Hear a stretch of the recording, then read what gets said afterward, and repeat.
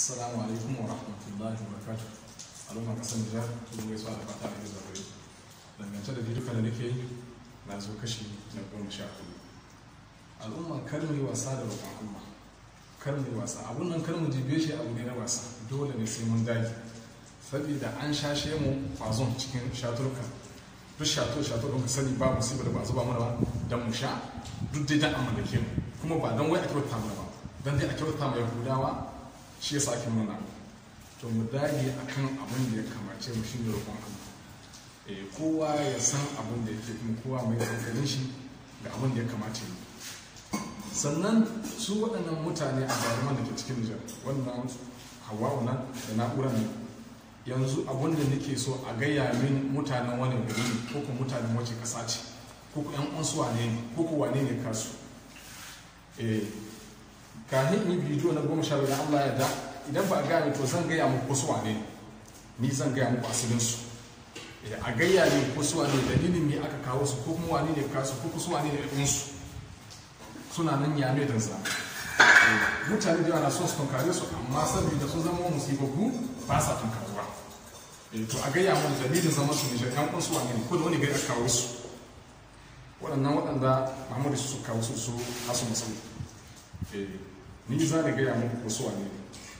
Kuma wallahi kar ku tunanin wai yau ko gobe ne za mu hita ga hannun yahuda ne cewa da shugaban nan sai mun dage saboda kullun shashe mu faso ne ake cikin cikin shatuna. Ruwa waɗanda muke sha an yi faso ne mu ciki.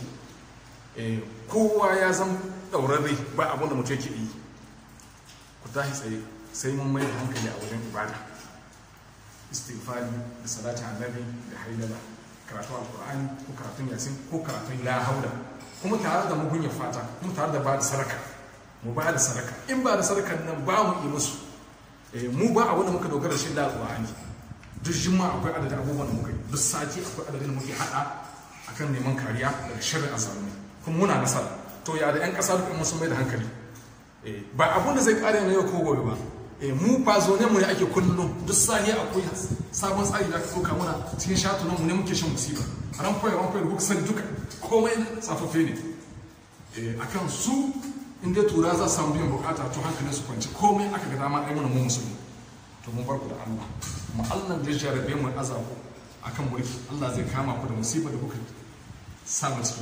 Kuma amana musulunci da kuka ci da musulmai Allah zai kama ku da shi. Izinillahi ta'ala kyau. Ƙarshen ku ba zai kyawu mun bar ku da Allah. Ya Allah sauka alƙur'an da muke da yasin da muke da lahar muke. Allah ka sauka suwa musu musiba bil haruf bil haruf. Da harafi harafi ya je musu musiba da bala'i. Akan zalunci da suka yi addini da zalunci da suka yi mana. Mun bar ku da Allah. Allah ya isa. Ya ji ni Muhammadu Alzumari. Duk wanda yake da ƙarin bayani ya ga nan ba ta nan yi magana in bai yi ya yi magana ya yi arzikin magana da muka yi mu da shi.